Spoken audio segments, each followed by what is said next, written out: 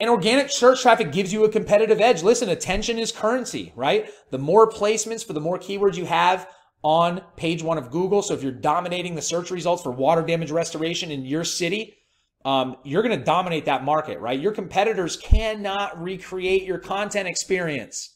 Think about that. So if you've gotten yourself, you've got the right content, you've got the right value based information, it's optimized to get you ranked, and now you're ranking for a ton of stuff in your service area.